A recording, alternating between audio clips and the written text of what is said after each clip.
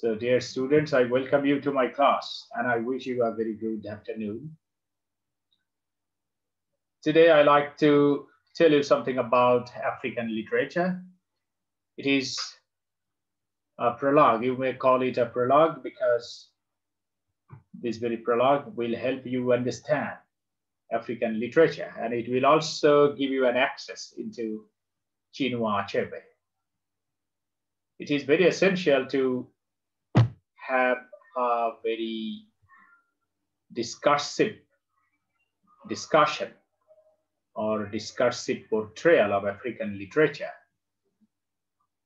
just before starting Chinua Achebe's text. African literature is not new. Its history is very old. We know the history of English literature. And we start from Anglo-Saxon age.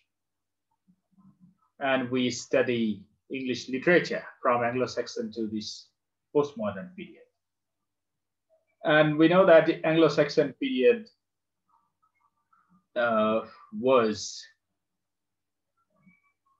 uh, it, it started after the departure of the Romans. The Roman conquerors left Britain in 405 AD, that is after date. And after that, Anglo-Saxons and Jutes came to Britain from Scandinavian countries, and they introduced storytelling, the art of storytelling.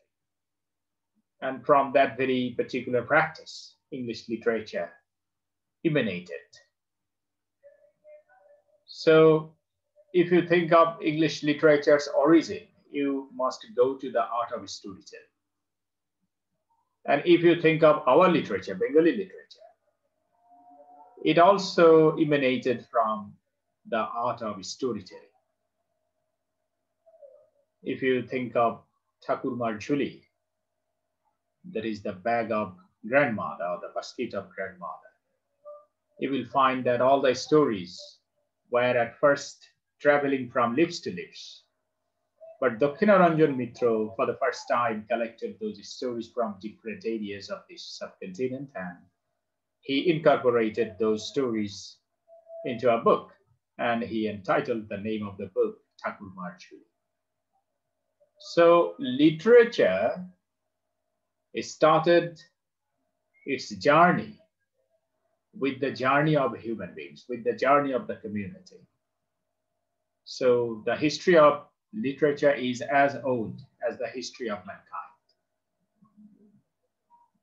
Very often we think of literature in written form only, but literature has got two forms. One is written and the other is oral. Oral literature is called orature. And literature that is available in written form is called literature or written literature. So if we uh, look upon literature as only uh, written literature, that would be a mistake. Literature has got another very potential form, and that is orature. Now, come to African literature. African literature is very old, especially orature. If you examine Africa anthropologically, you will find that uh, African culture was very old. And they also had their own way of educating their people. They had their own way of educating their people. The Africans used to educate their people or educate their children through storytelling. And storytellers were greatly honored in African culture. The male storyteller was called griot, and female storyteller was called griotess. And these griots and griotesses were highly honored and regarded among different tribes, ethnic groups of Africa. And these griots and griotesses used to tell stories. The people used to gather around them and they narrated their stories. The stories were about their mythology. The stories were about their ancestors' heroism, chivalric activities, performances. The stories were also about the morality, ethical values, and aesthetics of the African people. So these griots and griotesses wanted to teach the African children through storytelling. And those stories, which were told by the griots and griotesses to the children, were the primary sources of African literature. So if anybody asks you about the source of African literature, you have to focus on this particular point that storytelling, which was a millennium, millennium old tradition among the Africans, was the source of African literature. The Africans uh, used to communicate among themselves verbally. They did not have a written form of language. They did not have alphabet okay, if you think of the um,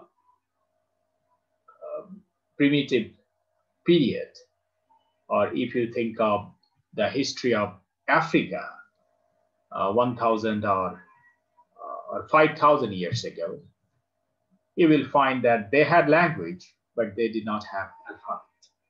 But ultimately, alphabet came to them through the conquest of the or through the advent of the Arabian merchants, the Tartars, who came to uh, Ethiopia, Sudan, uh, and Somalia, especially in the 7th century. These Arabian merchants and traders came to these parts of Africa with their language, Arabic language. And this Arabic language uh, contributed immensely to the development of African language in written form. Then Roman language also contributed uh, to the development of African alphabet.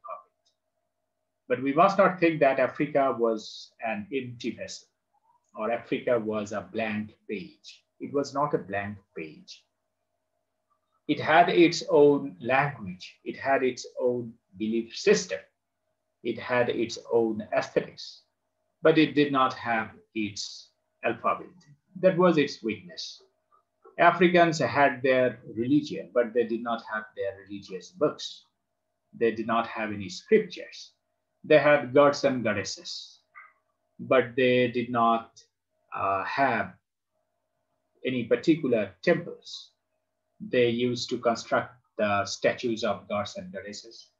They worshipped them they uh, begged help from them and cooperation from them. And if they met any natural calamities or catastrophe, then out of frustration or disappointment, they used to destroy those gods and goddesses. So the Africans constructed their own gods and goddesses. They also destroyed their gods and goddesses. Actually, that, that was the specialty of Africans and African gods and goddesses.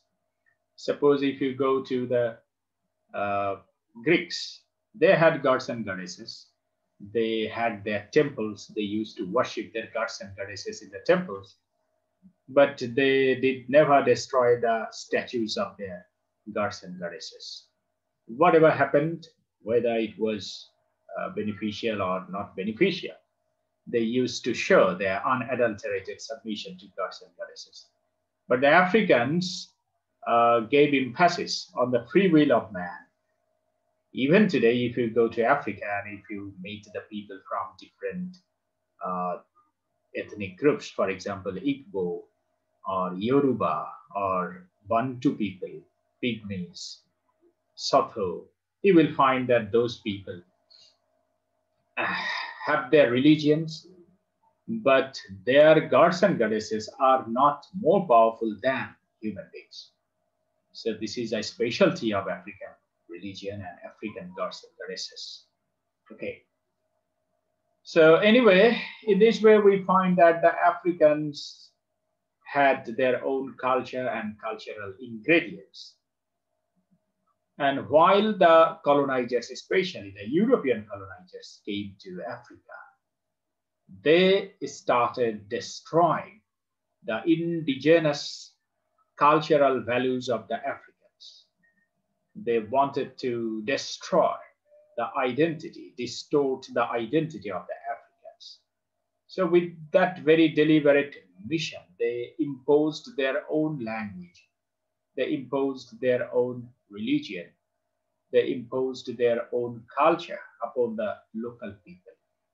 And they went on with a promulgation uh, that they did not have any literature, they did not have any language, they did not have any culture. So if the Africans wanted to become civilized, they must show their allegiance to the Europeans. They must receive the imported cultures brought by the Europeans to Africa. That was a very deliberate mission. And they became, to a great extent, successful in their mission. And as a part of this mission, if you think of the colonial literature only, I do not want to go to the colonial economy. I do not want to concentrate on the colonial uh, social politics or economic politics. I do not want to concentrate on their other practices. I just like to concentrate on the practice that they did through their writings, especially literature then I find that the colonial literature, that is the literature produced by the Europeans, uh, in which Africa was used as a uh, subject matter, then we find that Africa is distorted in many ways in their texts. And if you think of the heart of darkness, you will find the same thing there. The Africans did not speak. Marlowe went to the heart of Congo. Kurtz was already there. And what did they do there? These agents of European colonization were practicing all kinds of inhuman activities. They forced the people, enslaved the people, they compelled them to collect ivory for them, and they used to export ivory to their countries and earned lots of money. So colonization was a money-making enterprise. It was not a civilizing mission. Understand? It was only a um, colonizing mission. And this colonizing mission was uh, justified by the Europeans with a slogan. The slogan was that they were colonizing the people to uh, teach them civilization. So that was their propaganda, and it was uh, tinged with hypocrisy. It was fraught with hypocrisy. So anyway, if you think of the other text, suppose uh, Joyce Cary's text, uh, Mr. Johnson. Mr. Johnson is a text written by uh, Joyce Cary in 1939. Mr. Johnson. And if you read this novel, you will find an Nigerian character. His name is Mr. Johnson. He is educated, but he is not fit for any bureaucratic job. He is not fit for the job that the Europeans enjoy. He is fit for only the clerical job. So he does the job of a clerk in an office. And ultimately, we find that this Mr. Johnson is involved in forgery, in grabs, in theft, in killing also. So he is uh, depicted with all his dark aspects. So why? Because he is an African, because he's a Nigerian, and in the eyes of the Europeans, the Nigerians or the Africans do not have civilization. If they are educated, yes, they may be educated, but their education uh, cannot make them fit for a bureaucratic job or for the job equal to that of the Europeans. They are fit for the clerical job only. They are clownish. They may be suited booted gentlemen, but they are clownish. They are never equal to the Europeans. So this prejudice of the European writers is reflected in European texts about Africa.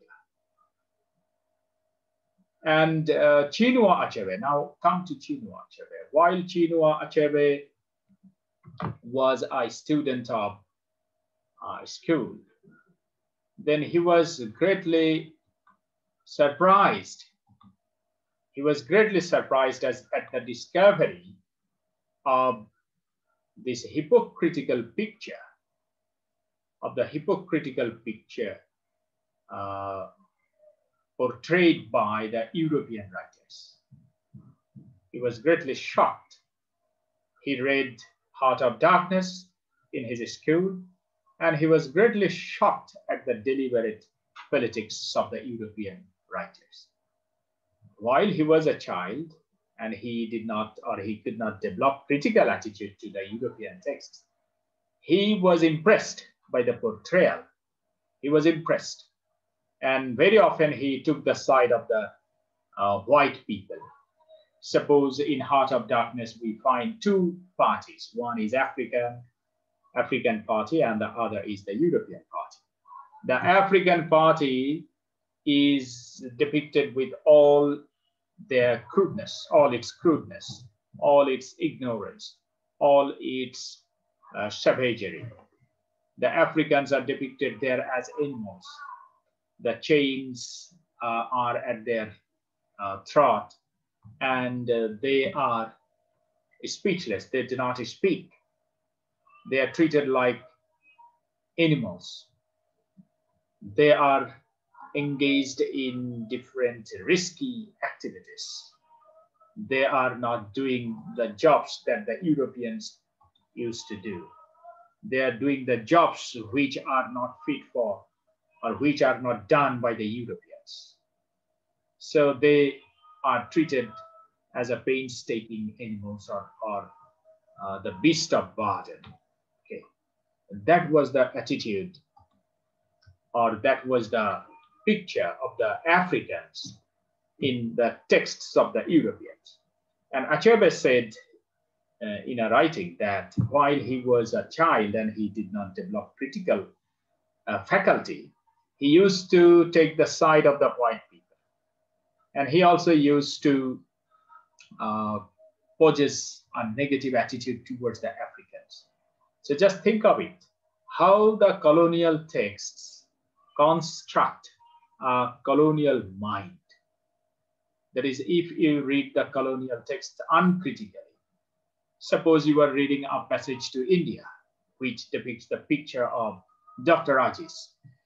And if you do not read this text critically, then you may take the side of Fielding, or you may take the side of Ronny Heaslop, you may take the side of Mrs. Moore, or you may uh, look upon Dr. Aziz as a clumsy, lousy fellow.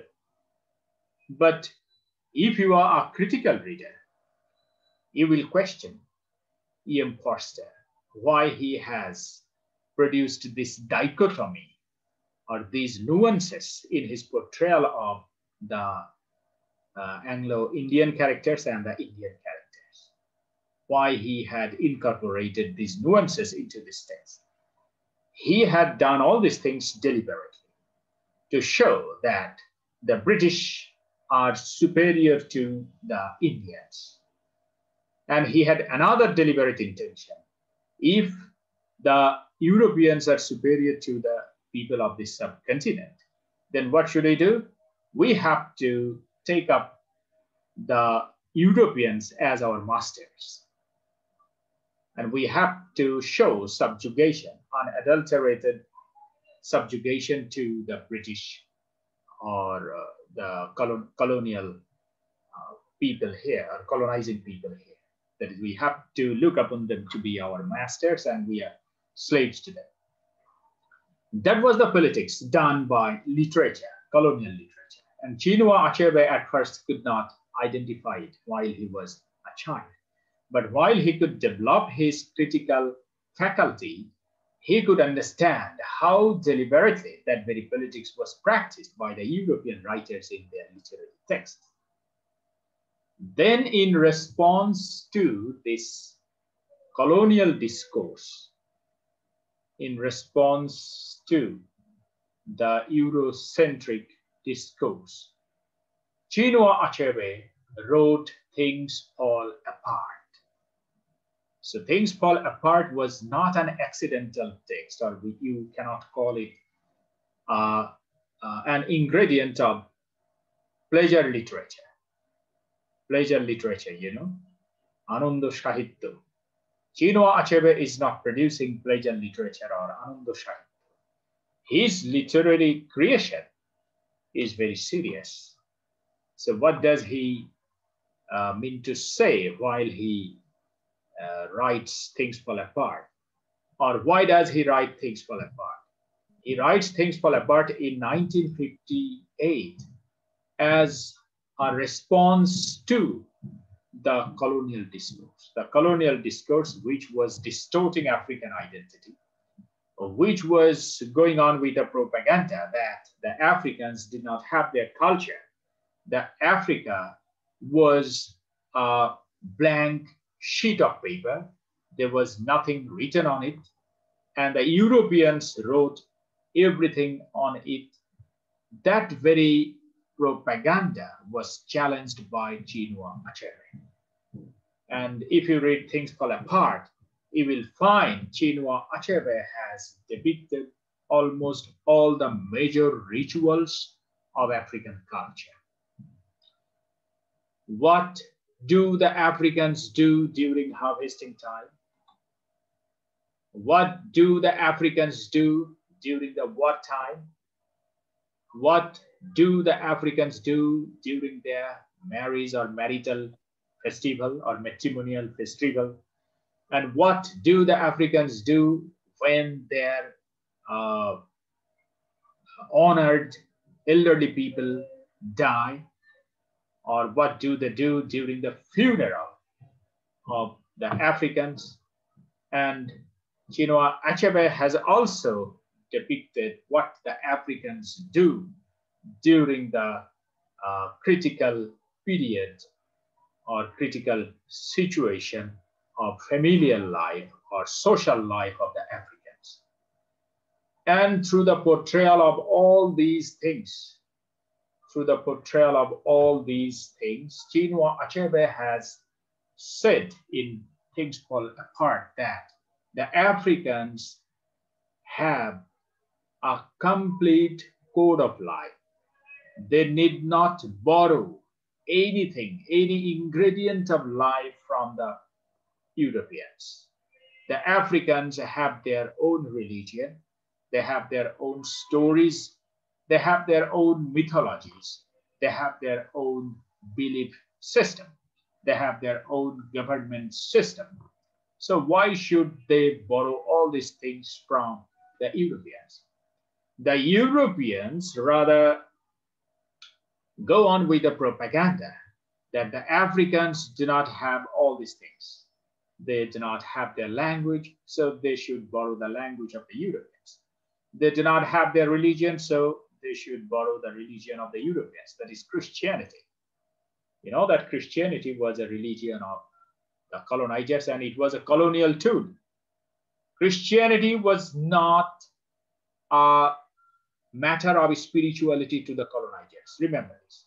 You must not forget it. Christianity was not a matter of spirituality or it was not practiced for spiritual salvation. It was used as a tool or as a weapon to control the people or to bring about changes in the psychology of the natives. And the natives remained busy with Christianity. And by this time, the Europeans used to maximize their capital. Suppose in this subcontinent, if you think of Indian subcontinent, why did they uh, uh, spread Christianity here? Though they could not become very, very successful as successful they were in Africa.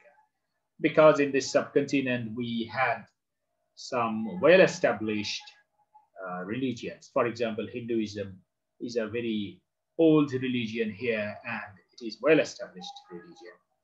Islam is also a well-established uh, religion here. And both these religions have their own religious institutions, religious leaders, religious books also. We have Quran, the Hindus have their Veds or, or other scriptures. Then the Buddhists have their Tripitaka. So um, the Christianity, especially the Christianity imported by the Europeans, could not find a very, very congenial atmosphere in this subcontinent as it found in Africa because the Africans were segregated. Even today, if you go to Africa or if you read the history of Africa, you will find that the Africans are divided into different ethnic groups. And each ethnic group has its own religion, its own pantheon, that is gods and goddesses. They have their own government system one group or one ethnic group does not follow the religion of the other ethnic group. And very often, one ethnic group is set against another ethnic group, and they uh, involve themselves in corrosive battle. So why? Because of the nuances, because of the differences of these ingredients of their life. And that was an advantage for the colonizers. They very subtly infused Christianity in those pitfalls of the Africans. And the Africans received Christianity. In this subcontinent, I just wanted to draw your attention to the condition of Christianity in this subcontinent. In this subcontinent, Christianity is spread uh, to some extent. Why? Because the Europeans studied the case of diseases in our country, in our subcontinent. We had cholera, we had also diarrhea, we had uh, tuberculosis. So the Europeans uh, went on with the propaganda that the religion or religious institutions, for example, the temples of the Hindus, and they referred to the temples of Puri, that those places were very unhygienic. And those places were uh, the center of the germs of all these diseases, suppose cholera, uh, diarrhea, or chickenpox, etc., etc. So these religions are unhygienic. On the other hand, Christianity is a hygienic religion. So take up Christianity and save yourselves from the germs of these uh, epidemic diseases, for example, cholera, diarrhea, tuberculosis, or malaria. Okay, so just think of the politics of the Europeans. They used our epistemology and misrepresented it to us and imposed their own epistemology upon the people here. And they did this very thing very uh, fatally and cruelly in Africa. And it was easy for them to do in Africa because the Africans were divided. They did not have a singular religion or they did not have a major religion. For that reason, it was very much uh, easy for the Europeans to uh, impose their Christianity upon the people. Okay, and Chinua Achebe very powerfully observed it. But one thing that you must not forget that Chinua Achebe's father was a Christian. His mother was a Christian. His family was a Christian family. But many of his relatives, many of his kith and kins were not Christians. They were pagans.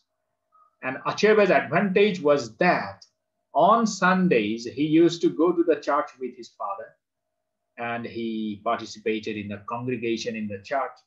And at the same time, on other days of the week, he used to go to the uh, statues of different gods and goddesses, pagan gods and goddesses worshipped by his uh, other relatives. So we find that Achebe lived on a cross-cultural platform, cross-cultural platform. So that very uh, particular uh, thing or uh, aspect of Achebe's life helped him a lot to develop an accommodative worldview. So Achebe was a Christian, but he was not an Orthodox Christian. He was Christian and equally he was pagan. And he could bring about a kind of compromise, a kind of amalgamation between these two different religious ideologies. For that reason, Achebe was different from many of the African writers. He was not a narrow-minded or chauvinistic African. He believed in accommodation. Achebe believed that Africa had a very rich culture, cultural heritage. But the Europe, Europeans had also their own cultural heritage. So there may be a kind of synthesis between these two different civilizations, two different cultures, two different ideologies. And if this synthesis may be done on the basis of consent, on the basis of mutual understanding, then there would be a hybridized culture. There would be a kind of hybridization. Hybridization does never mean annihilation. Hybridization enriches each other. Suppose we are now celebrating Boishakh, and at the same time we are celebrating Valentine's Day. We are celebrating 31st. So this is called synthesis. We are celebrating 31st, but we are not vanishing or we are not giving up our Pohila Boishakh.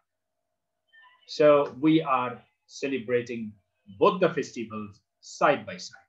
This is called uh, the accommodative disposition. So in the state of globality or in the uh, time of global uh, reality, we cannot keep ourselves aloof or away from the uh, from this hybridization. We cannot keep ourselves aloof from this hybridization or from this admixture of different cultures. This is the place where Achebe stands, and from that very place he has written, Things Fall Apart. So Things Fall Apart is a picture of African society, and at the same time, it presents a very broad worldview of Chinua Achebe. So now I like to go into this text and make you acquainted with different aspects of this text in detail.